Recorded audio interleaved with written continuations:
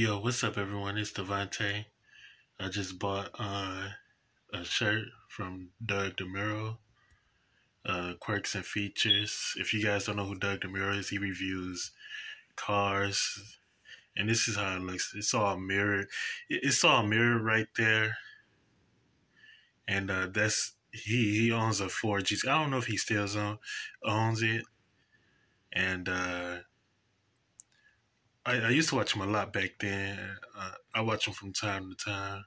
I'm, I'm gonna start watching him a, a lot again because his battles is, is funny, and you know people make memes about him in his comment section.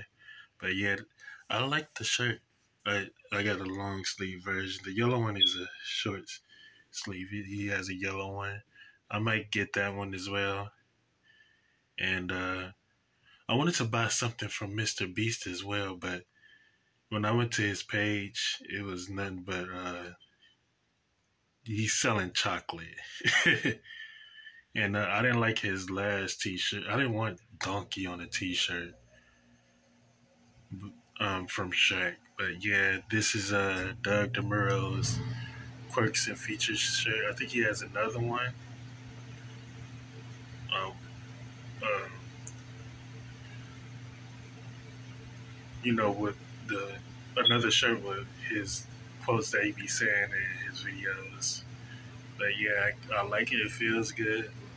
Long sleeve. You know, it's about to get cold here in, Michigan. It gets cold here